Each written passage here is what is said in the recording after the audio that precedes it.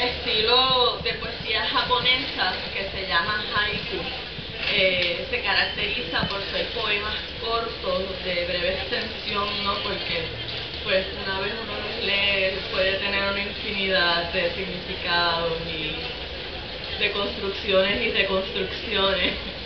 Um, y a mí me gusta mucho trabajar la técnica de la poesía corta. Uno de ellos se titula Atlántico, piel que me nace y eriza.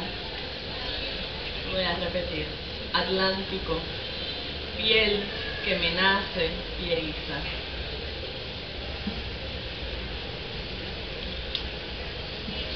Otro se titula Paréntesis al cuadrado.